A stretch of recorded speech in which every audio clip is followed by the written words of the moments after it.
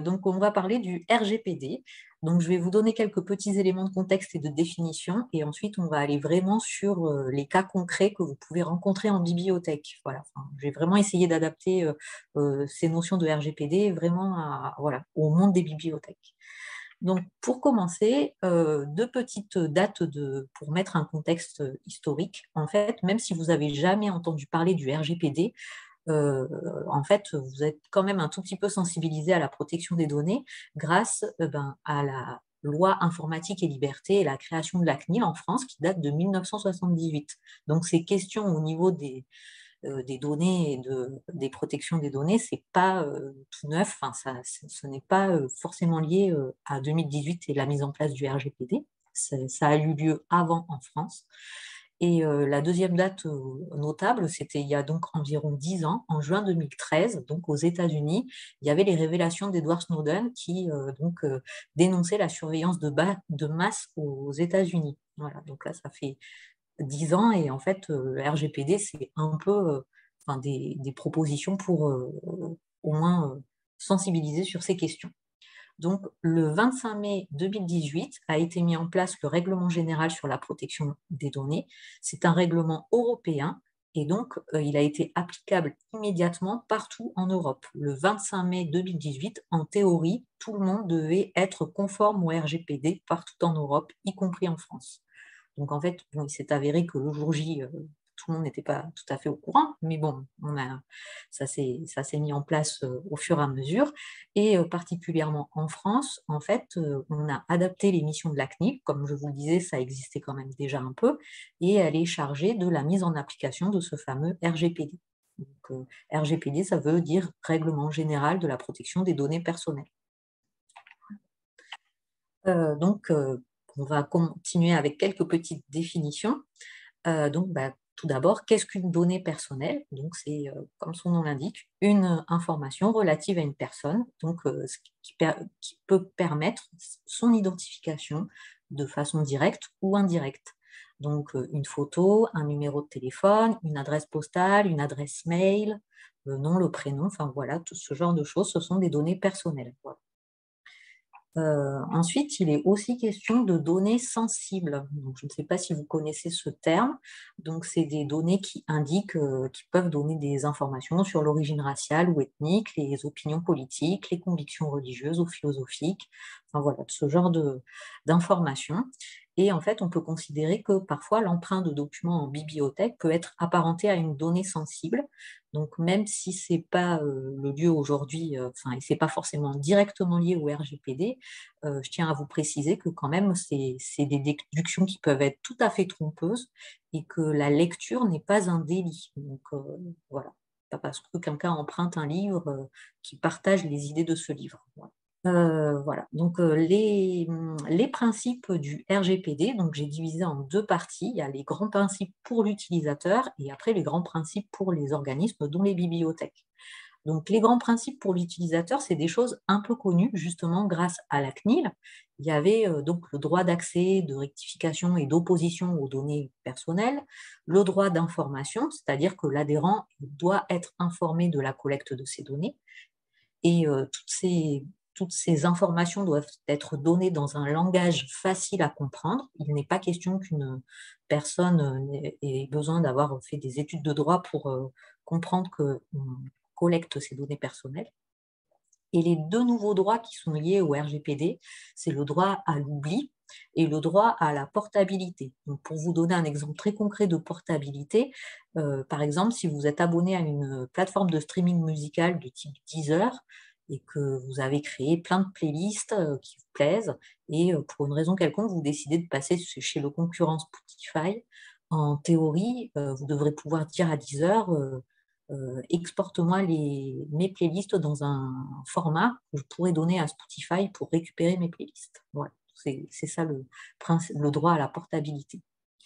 Donc, côté organisme, là, côté bibliothécaire et ce qui nous intéresse aujourd'hui, c'est que donc on a l'obligation de collecter uniquement les données personnelles nécessaires, c'est-à-dire on doit justifier de la finalité de la collecte, c'est-à-dire dire oui, je, je collecte tel type de données personnelles, mais j'en ai besoin pour telle ou telle raison. Donc, par exemple, l'exemple le plus flagrant, c'est la gestion des prêts et des retours, dossiers des usagers. Enfin voilà, c'est la finalité de la collecte de la donnée personnelle. Ensuite, on a l'obligation de protéger les données, donc des, systèmes de sécurité parfois basiques, qu'on verra un tout petit peu plus tard. Ensuite, eh ben, on conserve les données pour une durée limitée. il n'est pas question de garder des informations sur un usager toute la vie, alors que l'usager, c'est par exemple désinscrit, ne vient plus à la bibliothèque depuis des années. Normalement, vous ne devez plus avoir aucune information sur cet usager. vous devez donc obtenir le consentement de l'usager, c'est-à-dire explicite. Ça peut être un consentement de façon euh, oral, enfin, une phrase dite, euh, voilà, la personne est d'accord, ou euh, si c'est des formats papier ou des formats sous, format numérique, c'est une case à cocher, donc très explicitement, la personne, donc, en cochant la case, donne son consentement. Et ce qui a donc maudit, euh, qui, a encouragé tout le monde en fait à euh, se rendre conforme à ce RGPD, ce sont les sanctions financières, parce que en fait, euh, très, très, de façon très très basique, en fait, voilà, les, sanctions financières peuvent être très importantes, même pour des collectivités en fait. Pour continuer avec ces, définitions, bah maintenant on va essayer de définir ce qu'est un traitement de données personnelles. Donc en fait, c'est un traitement, c'est une opération ou une ensemble d'opérations portant sur des données personnelles. Donc c'est quel que soit le procédé utilisé. par exemple, saisir un formulaire d'inscription euh, sur votre SIGB, c'est un traitement de données personnelles. Euh, envoyer un email à vos usagers, c'est un traitement de données personnelles. Donc euh, une petite précision aussi qui n'est pas forcément connue de tout le monde, où le réflexe n'est pas habituel. Euh, les données personnelles et ce traitement de données personnelles concerne à la fois les le format numérique, ce qui est voilà, le réflexe le plus habituel, mais aussi le format papier. C'est-à-dire que si vous faites remplir vos, fiches d'inscription euh, sous format papier euh, à vos, usagers, vous faites un traitement de données personnelles sous format papier et vous devez veiller à tout ce qu'on a dit, la sécurité, la finalité, voilà, ne pas les conserver euh, pour toute la vie. Enfin, voilà, penser à les supprimer. Voilà, ça fait partie aussi du, du, règlement de la, enfin, du RGPD. Et euh, donc après, une dernière petite euh, information qui est que en fait, le RGPD, comme on l'a dit, c'est le traitement des données personnelles et donc il ne s'adresse pas aux personnes morales. Donc, quelques petits exemples concrets qu'on va voir maintenant tout au long de, la fin de la. Euh, c'est euh, donc euh, où c'est qu'on peut trouver des traitements de données personnelles en médiathèque. Et donc, je vous ai donné quatre exemples qu'on va reprendre tout le long, mais il y en a sûrement d'autres, mais je pense que ce sont les plus classiques et ceux que vous devez rencontrer dans vos lieux. Donc, tout d'abord, bah, il y a l'inscription à la bibliothèque pour profiter du prêt des documents. Enfin, typiquement, c'est un traitement de données personnelles, euh, que ça soit donc un format papier ou que ça soit saisi directement sur votre SIGB, c'est bien un traitement de données. Ensuite, il y a tout ce qui est euh, animation, heure du compte, euh, mise en place d'un concours, ce genre de choses. Donc, si ça nécessite une inscription, si vous voulez tenir une liste parce que vous avez une jauge à respecter ou ce genre de choses, ben, c'est bien un traitement de données personnelles, donc il faudra faire quelque chose pour ces listes. Euh, ça rentre aussi euh, dans le cadre d'offrir Internet euh, en bibliothèque, si vous mettez à disposition des postes informatiques avec un accès au web ou si vous mettez à disposition la Wi-Fi, ça, fait partie du... Enfin, il y a aussi un traitement de données. Et ensuite, pour finir, bah, il y a tout ce qui est autour de la communication, l'envoi de newsletters. Euh, si vous regardez en fait les, statistiques de visite de vos sites, enfin ce genre de choses, c'est, euh, il y a quelque part aussi un peu de traitement de données personnelles. Les mesures d'audience en fait euh, se font à l'aide de petits cookies et en fait, les cookies, ce sont des traceurs qui récupèrent en fait quelques données. Donc c'est pour ça que maintenant, quand on visite un site, n'importe lequel pour la première fois, la plupart du temps, la première image, c'est on nous demande si on accepte ou pas les cookies. Et donc c'est un exemple tout à fait concret de, voilà, de, l'application du RGPD au format numérique. Donc, on demande à l'utilisateur son consentement pour accéder au site. Voilà. Voici pour les quelques définitions. Là, on va rentrer un peu plus dans le détail et les mesures concrètes. Euh, donc, euh, bah, concrètement, vous, à la bibliothèque, vous allez bah, devoir, enfin, si vous n'avez encore jamais euh, fait quelque chose autour du RGPD, il va falloir bah, un peu faire le point et on va voir ensemble ce qu'il va falloir faire. Donc, normalement, tout ce que je vous dis, ce n'est pas complètement inconnu, je pense, puisque, comme je l'ai dit au début, il y avait la CNIL et il n'y a pas si longtemps, donc avant 2018, les bibliothèques devaient déclarer leur leur fichier d'adhérents à la CNIL. Donc, vous aviez quand même normalement une démarche à ce niveau-là. Et la CNIL avait mis en place une norme simplifiée pour les bibliothèques. Je ne sais pas si ça, vous, si ça parle à certains d'entre vous. Donc, ça, c'était avant 2018. Donc, maintenant, depuis la mise en place du RGPD, bon, les, données ont changé, mais c'est, quand même à peu près. enfin, voilà, c'est enfin, voilà, les nouvelles choses à, à mettre en place avec ce RGPD depuis 2018. Euh, donc, bah, il va falloir identifier le DPO de votre commune pour que bah, déjà il puisse vous donner des informations et vous aider. Donc, le DPO, c'est le délégué à la protection des données. Des données. Donc, normalement, il y en a euh, dans toutes les communes. Personnellement, je ne suis pas DPO, euh, je suis juste l'interlocutrice pour la médiathèque départementale de la DPO de ma collectivité par exemple. Et donc, c'est la personne ressource qui répond à toutes les questions et qui peut vraiment euh, euh, vous aider euh, pour répondre à toutes ces questions sur le RGPD. Donc, dans un premier temps, vous allez avoir une phase de tri. Il va falloir recenser vos fichiers, euh, partir à la recherche euh, des dossiers perdus, que ce soit euh, dans vos bureaux, des fiches papier, comme on l'a dit. Le RGPD, ça concerne aussi le papier, ou vos bases de données numériques. Regardez si vous n'avez pas des fichiers Excel qui traînent avec des listes de noms de personnes. voilà, et essayez de voilà, décider si vous mettez à jour ces listes, si elles ont une utilité, si elles vont faire l'objet d'un traitement, et donc vous allez devoir les mettre à jour, ou si vous allez les supprimer.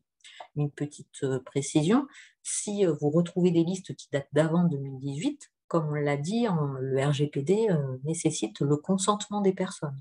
Donc avant 2018 et avant que le règlement vous oblige à avoir le consentement des personnes, hein, par définition, vous ne leur avez pas demandé donc, euh, vous n'avez pas eu le consentement des personnes. Donc, les listes qui datent d'avant 2018, normalement, il faut, vraiment les supprimer. Voilà. Donc, ça, c'est le gros travail de tri, se lancer euh, à, la, recherche de toutes ces données.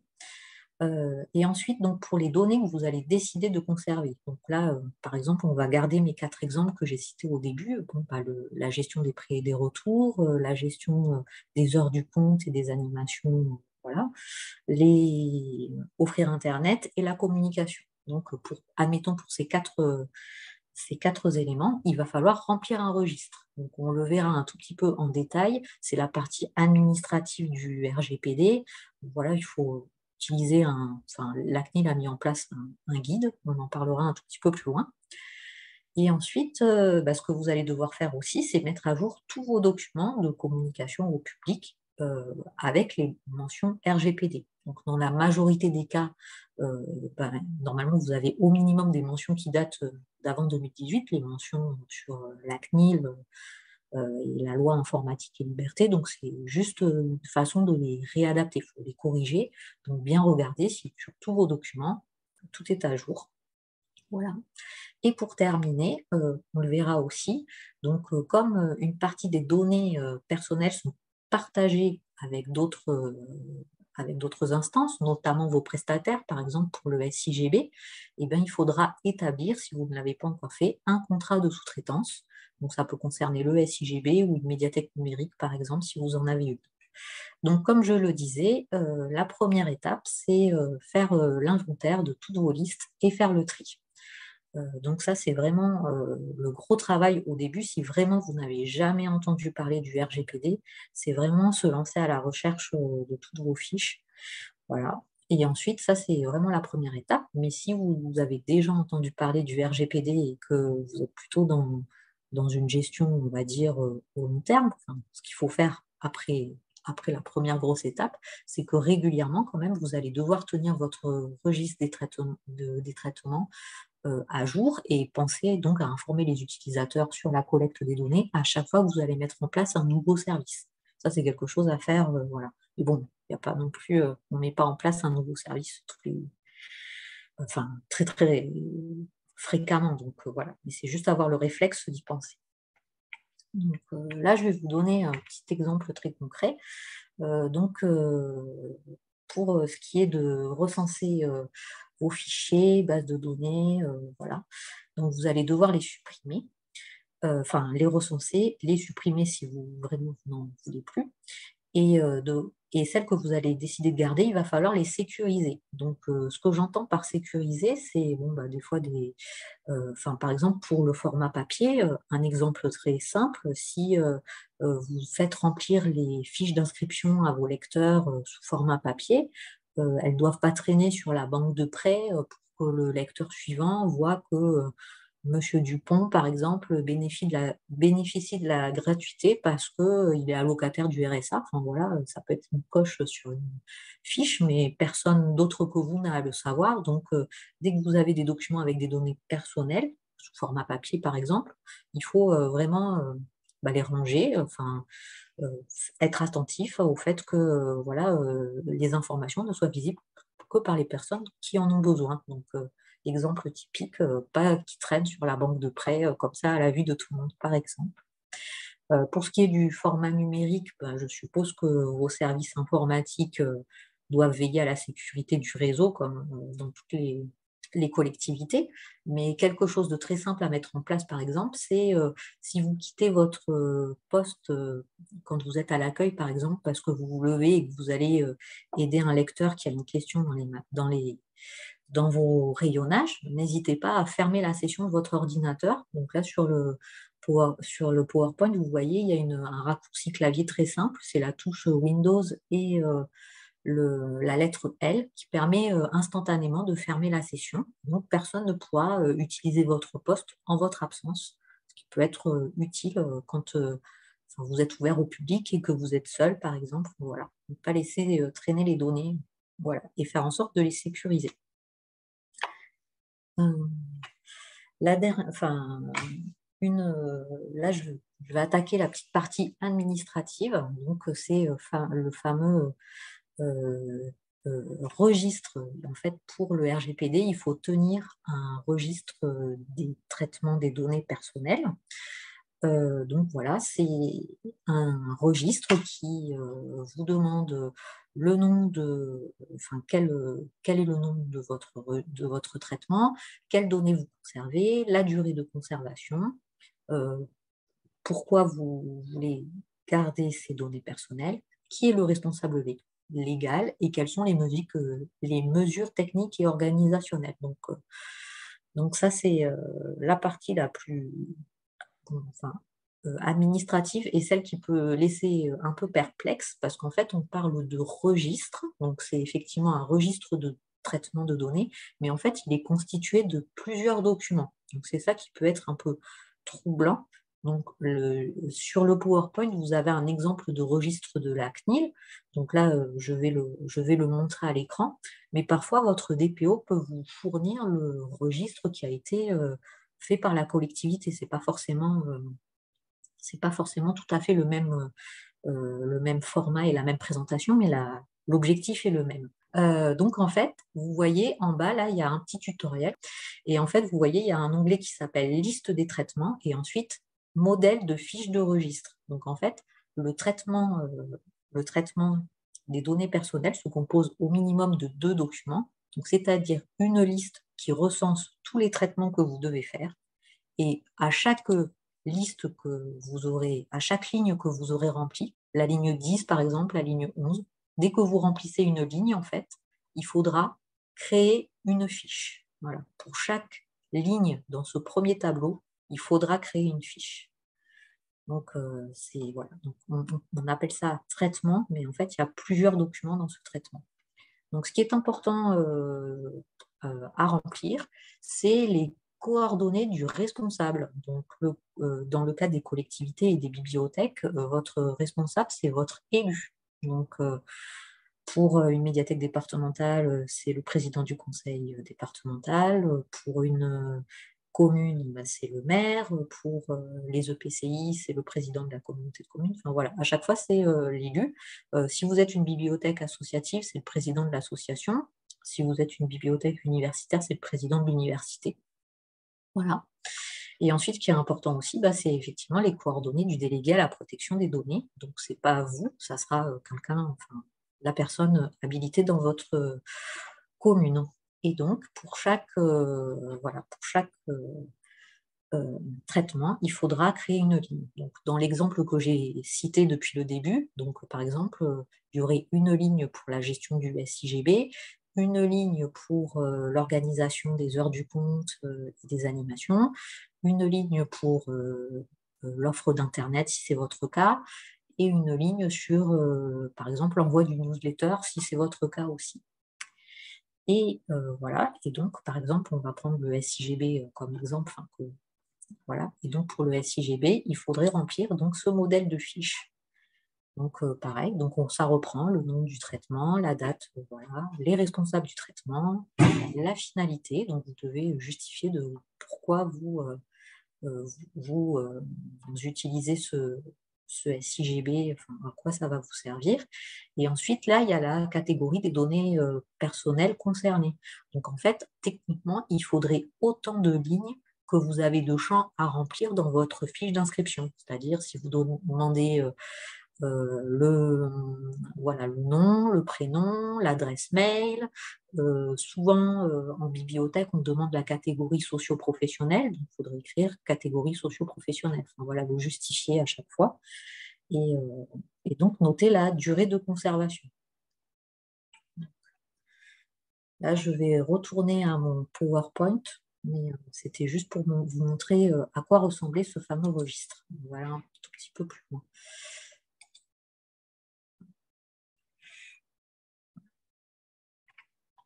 Donc voilà, là j'ai juste capturé l'écran où j'ai montré, euh, montré voilà, la coordonnée du responsable de l'organisme, c'est bien l'élu, là c'est bien le DPO, et là ça peut être euh, la liste des, choses à remplir. Donc euh, juste pour revenir sur des, des petites, des exemples très très concrets de ce que vous pouvez avoir euh, en, bibliothèque, euh, par exemple, le SIGB, la, gestion des données euh, que vous obtenez pour quand vous inscrivez un usager, c'est uniquement, normalement, techniquement, c'est parce qu'il veut emprunter et rendre des documents. Donc, normalement, vous avez ces informations uniquement pour gérer son prêt. Donc, normalement, vous devrez utiliser son mail ou euh, son contact téléphonique ou son, adresse postale uniquement pour lui dire, euh, euh, par exemple, qu'il a des prêts en retard ou que sa réservation l'attend, enfin, ce genre de choses. Si vous voulez utiliser votre fichier pour envoyer de la communication, ou par exemple une newsletter, vous ne devez pas le faire comme ça sous prétexte que vous avez son adresse.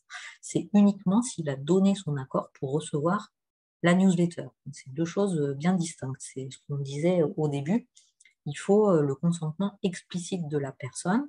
Donc, quand la personne s'inscrit dans une bibliothèque, normalement, elle accède au service euh, pré-retour, enfin voilà, ce genre de choses. S'il est question de communication, c'est une autre démarche et donc il faut penser à, à rajouter la petite coche dans votre, dans votre bulletin d'inscription.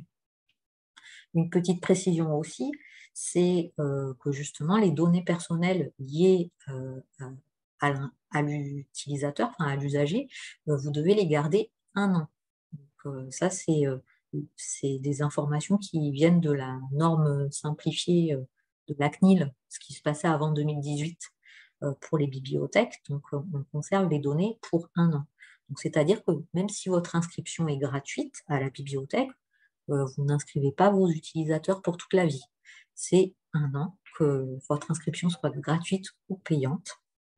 Euh, donc, on vous recommande donc au bout d'un an de faire le nettoyage tous les ans. Euh, peut-être que pour des facilités statistiques, c'est plus facile de le faire euh, à une date, tous les ans à la même date. Comme ça, vous pouvez faire le ménage dans vos, fichier adhérent. Donc, euh, pour reprendre l'exemple, si vous saisissez informatiquement une fiche adhérent qu'une personne a remplie sous format papier, si vous supprimez euh, son dossier euh, en format numérique sur votre SIGB, vous devez aussi aller détruire le bulletin papier. Il faut vraiment avoir le réflexe pour les deux, pour les deux, enfin toutes les, tous les traitements que vous avez, quelle que soit la forme. Petite précision aussi, c'est, euh, comme je disais euh, aussi, c'est les données sensibles par rapport aux emprunts. Donc normalement, euh, les informations sur l'historique des prêts est, une, conservée pour une durée de 4 mois. normalement, ça s'est fait automatiquement avec votre SIGB, une, une façon assez facile de s'en rendre compte, c'est vous, si vous inscrivez, enfin, si vous faites une recherche dans votre catalogue d'un titre et vous allez bien vérifier s'il a déjà été emprunté à un moment donné. Euh, si l'emprunt est euh, supérieur à 4 mois, vous aurez l'info comme quoi il a été emprunté, mais vous ne verrez plus la personne qui, le nom de la personne qui l'a emprunté. Normalement, le, les prestataires SIGB ont fait le travail et se sont mis en conformité avec le RGPD. Voilà, ça c'était une information utile. Euh, je, encore une fois, ce fichier, euh, euh, vous ne devez pas le transmettre en dehors de la bibliothèque. Pareil, s'il y a un service, un autre service de la collectivité qui souhaite faire sa grande fête, je ne sais pas moi, dans les jardins pour fêter l'été puisqu'on est en juin, et vous demande votre fichier adhérent pour inviter tous les adhérents de la bibliothèque, vous n'êtes pas tenu de le transmettre. Toujours pareil, la personne a donné son consentement pour euh, la bibliothèque et potentiellement pour votre newsletter, mais pas la newsletter de l'association ou, du service euh, voilà, à côté. Euh, voilà. Ça, c'est, il ne faut pas utiliser votre fichier en dehors de la finalité pour laquelle vous l'avez récupéré. Donc, même chose donc, pour cette histoire de communication. Si vous avez une newsletter, donc toujours pareil, vous demandez le consentement et, et c'est uniquement pour les informations de la bibliothèque, pas les informations de la mairie ou d'autres services. pour revenir aussi pour un petit peu plus en détail sur ces histoires d'inscription aux animations, donc en fait, c'est typiquement si vous tenez une liste parce que vous avez une jauge, vous faites une heure du compte et votre, vous décidez d'accueillir maximum 15 personnes.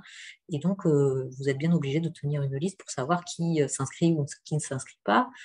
par exemple, vous allez récupérer peut-être le numéro de téléphone pour pouvoir prévenir au dernier moment s'il y a un problème ou une annulation de dernière minute. Donc typiquement, ça, c'est des données personnelles, donc ça fait l'objet normalement d'un traitement. vous êtes tenu dès la fin de l'animation, d'anonymiser ces données. Donc, euh, à des fins statistiques, vous allez pouvoir conserver le nombre de participants, voilà, mais euh, vous n'êtes pas tenu de garder la liste des participants pour le reste de, de l'année. Enfin, vraiment, ça, c'est des choses qu'on doit détruire assez rapidement. Alors, il y a peut-être une petite exception qui vous permettrait de garder un peu plus longtemps, mais si c'est votre cas, c'est par exemple si vous faites deux fois la même animation et que voilà, vous avez justement pour laisser plus de personnes pouvoir participer à une heure du compte, vous faites deux fois le même, la, même chose. Donc là, forcément, vous allez peut-être dire, ben non, vous êtes déjà inscrit au groupe 1 qui a eu lieu le mardi, je ne peux pas vous inscrire au groupe 2 du mercredi puisque c'est exactement le même déroulé. Donc là, ça, ça vous laisse un petit temps. Enfin voilà, vous pouvez justifier du fait que vous allez garder votre l'information de la donnée personnelle un peu plus longtemps. Mais toujours pareil, il faut la supprimer assez vite et anonymiser vos données. Donc, euh, il faut savoir qu'une des finalités, le traitement statistique est, tout à fait acceptable comme raison pour laquelle vous, conservez une donnée, mais à condition de, les rendre anonymes. Voilà. Donc, après, pareil, pour euh, l'accès Wi-Fi et Internet, euh, on conserve des données de connexion et donc, euh, il faut conserver ces données pour un an. Et donc, toujours pareil, il faut prévenir euh, les gens quand ils vont utiliser l'ordinateur de la bibliothèque ou s'ils vont utiliser la Wi-Fi que la bibliothèque offre. Il faut qu'ils sachent qu'au euh, moment où ils vont utiliser le service, il va y avoir une collecte de données et encore une fois, ils vont devoir donner leur consentement. Donc, dans la majorité des cas, bah, c'est euh, soit vous l'écrivez dans votre charte, vous mettez clairement dans la charte, ou sur le côté informatique, vous pouvez cocher des, enfin mettre en place ce qu'on appelle des portails captifs, où la personne doit cocher l'acceptation des données, des, des, conditions d'utilisation pour utiliser le service. Comme ça, elle est informée que les données vont être collectées et elle va pouvoir utiliser le service. effectivement, pour tout ce qui est Internet, la collecte des données, c'est environ, enfin, c'est un an. Euh, donc après, pour euh, continuer sur, euh, une fois que vous avez rempli votre, votre registre de traitement, il faut mettre à jour donc tous vos documents, vos chartes, vos règlements, votre fiche d'inscription, vos sites. Donc là, je vous ai mis un exemple détaillé sur la fiche d'inscription où il rappelle que euh, les données donc, sont conservées pour un an pour l'inscription et quatre mois pour les prêts. Donc là, c'est la version très très longue qui peut être dans votre règlement. Sur la fiche euh, d'inscription basique, vous n'êtes pas obligé de faire aussi détaillé. Comme on l'a dit, c'est important que les données, enfin l'information qui concerne les données personnelles et leur collecte soit facile à comprendre pour, tout le monde. Je ne clique pas sur le lien, mais sachez que si sur le PowerPoint, vous aurez un modèle euh, CNIL, et là, je l'ai adapté euh, à la bibliothèque. Donc, pareil pour les newsletters. Donc, euh, pensez bien à rajouter sur votre formulaire d'inscription une cage à cocher pour que la personne donne son consentement et accepte de recevoir les informations. Voilà, concernant les rendez-vous, la programmation culturelle de la médiathèque. pareil, à l'envoi de la newsletter, il faut bien penser à mettre les mentions légales. Et, euh, effectivement, euh, on doit aussi également très facilement trouver un lien pour euh, pouvoir se désinscrire. Voilà. Donc, je vous ai donné un petit exemple qui peut être aussi repris pour le site web. Et pareil, euh, le petit exemple par rapport aux postes informatiques avec accès Internet ou la Wi-Fi. Donc, euh, les, postes informatiques disposent d'un système de protection de son réseau. Les données de connexion sont conservées par le fournisseur d'accès à Internet pendant une durée, euh, pendant un an. Voilà. pour ce qui est des, petites choses à faire et des textes à mettre à jour. Donc, pour, dans les, pour terminer dans les étapes, il y a aussi donc établir un contrat de sous-traitance avec votre prestataire, donc dans la majorité des cas avec votre SIGB. Donc il faut savoir que la majorité des SIGB se sont mis en conformité euh, dès 2018 et il y a de fortes chances que même si vous n'ayez pas signé ce contrat de sous-traitance, il soit à jour. Et comme je vous le disais, euh, euh, normalement les données concernant l'historique des emprunts a disparu au bout des quatre mois comme le prévoit euh, ce règlement. Donc euh, ça, c'est une vérification à faire de votre part, mais normalement, vous n'aurez pas de mauvaise surprise à ce niveau-là. Et donc, vous avez, donc il y a le cas du SIGB, il y a potentiellement aussi le cas d'une médiathèque numérique avec les dossiers usagers. Donc, il faut signer un contrat de sous-traitance avec ces deux, avec vos prestataires. Donc là, vous avez un, un modèle pareil qui est proposé, enfin c'est le modèle européen, mais il faut savoir que généralement chaque collectivité en a, a adapté un. Par exemple, c'est le cas de ma collectivité, il a été vu entre la DPO et le service informatique et on, en a un qui est spécifique. Voilà, là ça dépend de, vos différents lieux. Là, je vais terminer avec une donnée un tout petit peu plus technique. Donc, je ne sais pas si ça va vous parler, ou, mais je tiens quand même à la préciser, c'est euh, tout, ce qui est, euh, tout ce qui concerne les mesures d'audience euh, de vos sites internet, voilà vos statistiques, savoir qui lit votre newsletter, qui vient visiter votre portail, tout ça. Donc dans la majorité des cas, les, personnes qui veulent évaluer les visites utilisent des, outils statistiques et la majorité des gens utilisent Google Analytics puisque c'est un outil gratuit, euh, assez facile à prendre en main. Et donc, euh, Google Analytics, en fait, euh, bah, c'est un service de Google. Et en février 2022, la CNIL a déclaré que l'utilisation de Google Analytics était non conforme au RGPD. Donc, en gros, si vous utilisez cet outil pour faire vos évaluations, vous êtes, enfin voilà, vous n'êtes pas conforme au RGPD puisque il y a plein de petits traceurs qui partent enfin, qui, ne protègent pas suffisamment les données qui ne sont pas suffisamment encadrées. Donc, euh, même si Google a fait des efforts assez récemment, euh, la CNIL, euh, enfin, c'est toujours pas conforme. Et donc, la CNIL a proposé toute une liste de solutions qui étaient plus respectueuses des données personnelles. par exemple, nous, c'est notre SIGB qui nous a alerté sur ce sujet et qui a recommandé un outil en particulier. Mais bon, là, je, en cliquant, vous verrez toute la liste des, des solutions proposées par la CNIL. Mais donc, c'est aussi important de se poser la question, même à ce niveau-là. Euh, et pour terminer, je vais vous montrer bah, en fait, les sanctions, puisque bah, en fait, ça commence à tomber quand même. Le, règlement a été mis en place en 2018. Et là, vous voyez qu'il bah, peut y avoir des sanctions. Donc, euh, la majorité, de, dans, beaucoup de cas, c'est des sociétés privées, mais ça peut être aussi des collectivités, hein, c'est déjà arrivé. Et donc, euh, vous voyez que les, amendes sont quand même assez élevées. Je pense que c'est ça qui est vraiment dissuasif et qui, euh, qui, motive les personnes à vraiment euh, être sensibilisées et à essayer de faire au mieux avec les données personnelles. et pour terminer, donc si vous voulez aller plus loin sur ces données personnelles et toutes ces questions, au niveau des bibliothèques, je ne sais pas si vous connaissez cet outil. Euh, donc c'est euh, la charte euh, Biblib, donc c'est proposé par l'Association des bibliothèques de France.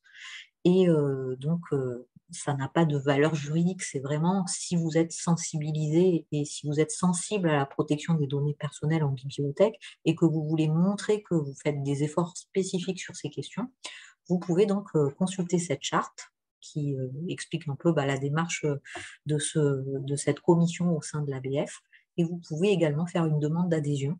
Et donc euh, là, il faut la, faut la faire signer à votre, à votre élu. Euh, et donc, par exemple, il y a un label, il y a plusieurs labels dans, ce, dans cette charte, et il y a un des labels qui est, euh, donc, qui est autour de l'Internet ouvert et de la protection des données personnelles. si, si, ça vous intéresse, vous pourrez aller aussi regarder cette charte. Pour gérer les contentieux et les livres perdus et remplacés par les lecteurs, est-ce qu'il faut aussi supprimer ces tableaux d'état des lieux? Euh, alors non, c'est très, enfin, j'ai oublié de le dire, mais effectivement, la seule exception, c'est justement les contentieux. Là, vous avez le droit de garder un peu plus longtemps vos, données jusqu'à temps que le contentieux soit réglé. Est-ce que ces règles concernent aussi les coordonnées professionnelles?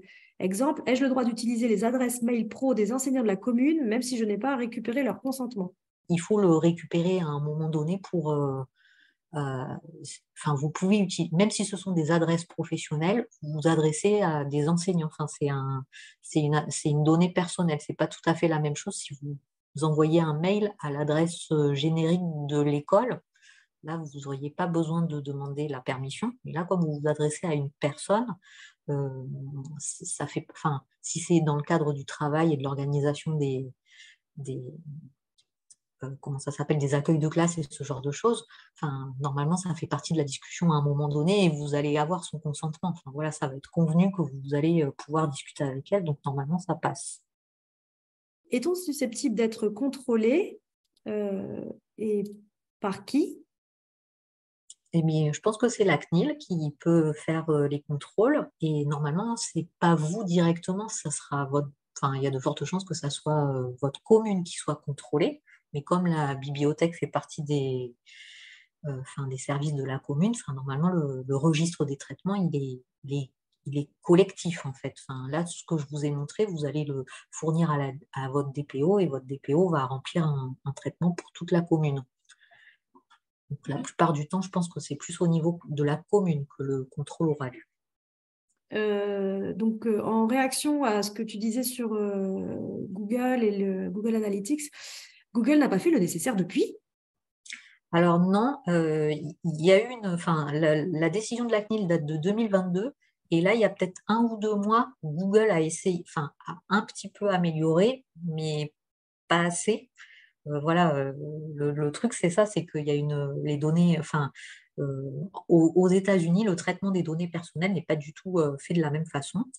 Et, donc, non, non, ils, perçoivent toujours trop de données. Enfin, c'est pas du tout, c'est pas du tout conforme au RGPD. Le registre pour chaque traitement est-il obligatoire? Le dépôt se fait auprès de la CNIL alors non, c'est auprès, du, c'est auprès de votre DPO. je pense que c'est le DPO qui va vraiment gérer tout ça. Donc normalement, il faut vraiment prendre contact avec le DPO, remplir les traitements qui concernent la bibliothèque, lui fournir. Et je pense que c'est vraiment la personne qui va gérer globalement. En tant que bibliothèque départementale, on envoie une newsletter à nos bibliothèques, des fois des adresses pro, des fois des adresses perso qu'en bénévole. On n'est pas du tout dans les clous du tout. il faudrait soit avoir le consentement, soit envoyer uniquement aux adresses génériques des bibliothèques quand elles existent. C'est bien ça? Alors, bah, j'ai exactement la même question chez nous, effectivement. Donc, nous, on a envoyé une newsletter uniquement aux adresses mail génériques des bibliothèques, puisqu'on s'est adressé aux, personnes morales que sont les bibliothèques municipales et donc on n'a mis aucune adresse personnelle. On a normalement toutes nos bibliothèques ont une adresse générique. Et ensuite, pour ce qui est des adresses euh, perso, on a mis un petit sur notre site, on a donc un petit bouton pour pouvoir s'inscrire à la newsletter. Et là, il y a les petites données dont j'ai parlé, là, les données de consentement, et les personnes peuvent dans ce cas-là, s'inscrire avec euh, leur mail perso. Et donc là, on, est, on a fait la différence. Euh, nous, on envoie de façon tout à fait autoritaire à nos bibliothèques sur l'adresse générique en tant que personne morale. Et euh, pour les, adresses perso, c'est elles qui font la démarche volontaire. Après, je pense qu'il faut les, les consulter et obtenir leur accord, même, même verbal. Quoi. Enfin, c'est pas, pas obligé de cocher on n'a pas de fichier d'inscription pour euh, les bibliothécaires des réseaux des BDP. Au sein de notre collectivité, comptant 12 médiathèques, nous mettons à disposition de nos usagers des réservations de documents en libre service.